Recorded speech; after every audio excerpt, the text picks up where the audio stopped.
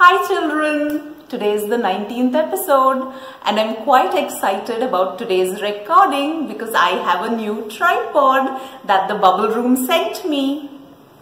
I've been recording all my previous videos with this phone stand and now I have a new camera stand. Thank you Harshita. And my YouTube channel Lucid Lucent is nearing 200 subscribers. So I need you all to please hit the subscribe button. Did you do it? Did you hit the subscribe button? If you did, thank you. And if you didn't, please pause this video and hit the subscribe button. Did you all guess which the heavenly object is? That which is the only natural satellite of Earth the animals that are associated with it are the rabbit or the hare and the wolf and the word that is associated with it is lunar. This heavenly object is the moon. And today's story is called The Lake of the Moon. At the end of the story, we have an activity for you where I will teach you to make rabbit pencil toppers. So please watch the video till the end. And now we'll begin the story. A large herd of elephants lived in a jungle.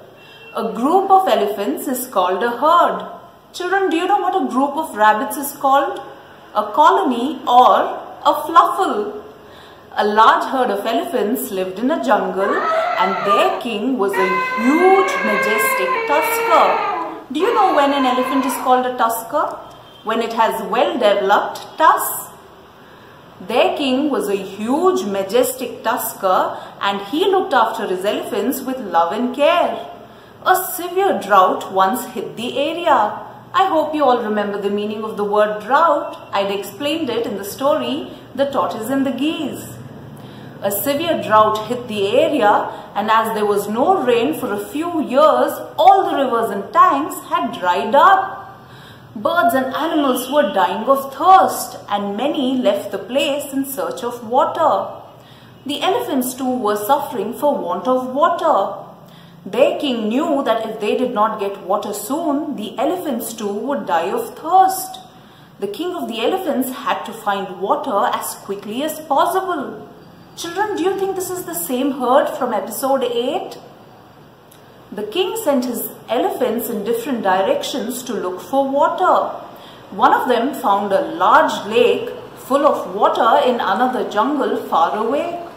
The king was happy. He ordered all his elephants to make their way to the lake. This was a beautiful lake. Close to it was a colony of rabbits. The elephants had to pass through this colony to get to the lake. Thousands of rabbits were trampled to death. Trampled is crushed. Thousands of rabbits were trampled to death and thousands more were injured. All the rabbits were in a state of panic. Their king called for a meeting. He said, A herd of elephants is passing through our colony and has killed thousands of us. We must think a way to save ourselves. The rabbits thought and thought. How could they stop the elephants? One little rabbit finally stood up. Your Majesty, he said, if you will send me as your messenger to the king of the elephants, I can think of a solution. The king agreed. He said, by all means go and see what you can do. So the little rabbit hurried out. He saw the herd of elephants returning from the lake. Right in the middle was the king, but it was impossible to get near him. I will be crushed to death, thought the little rabbit. So he jumped on to a high rock and he shouted, Oh, king of elephants, hear me. The king of the elephants heard the rabbit and looked at him. Who are you? The elephant asked. I am a messenger, said the rabbit. A messenger? From whom? I am a messenger from the mighty moon. A messenger from the mighty moon? What is your business? Is there a message for me from the moon? Yes, your majesty, but please don't be angry with me. Remember, a messenger cannot be punished for what he has to say. He's only doing his duty. Very well, say what it is that you have to say. I shall do you no harm. Your Majesty, this is what the moon has to say. O King of Elephants, you with your herd have come to my holy lake and soiled its waters.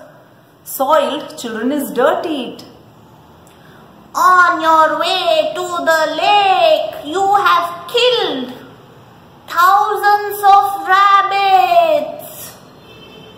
You know that these rabbits are under my special protection. Everybody knows that the king of the rabbits lives with me. If you continue to kill these rabbits, something terrible will happen to you and to your herd. The king of the elephants was shocked when he heard this. He looked at the rabbit. You are right. We may have killed thousands of rabbits on our way to the lake. I promise you that you shall suffer no more. I must ask the moon to forgive me for my sins. Please tell me what to do. Come with me alone, said the rabbit, and I will take you to the moon. So the little rabbit took the huge elephant to the lake. There, reflected in the still water, was the moon. There, your majesty, there is the moon. I must worship the divine moon.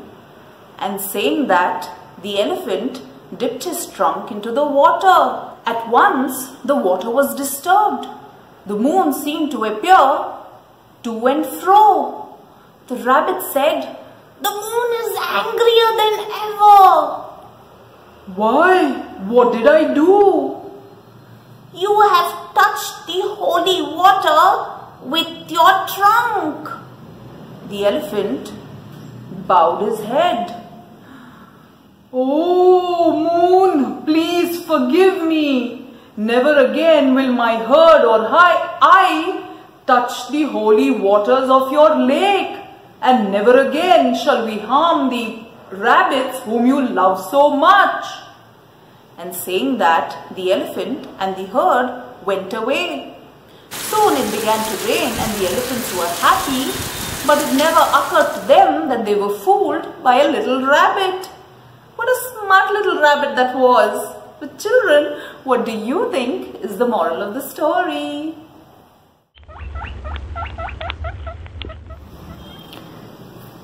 Hi children, I hope you all enjoyed the story, The Lake of the Moon. And now, let's make some rabbit pencil toppers.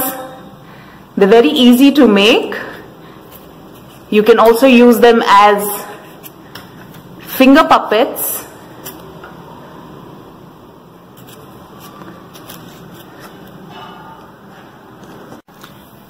You just need two items to make these pencil toppers. A square sheet of paper measuring 10 centimeters by 10 centimeters and some sketch pens. Let's begin to make the pencil toppers.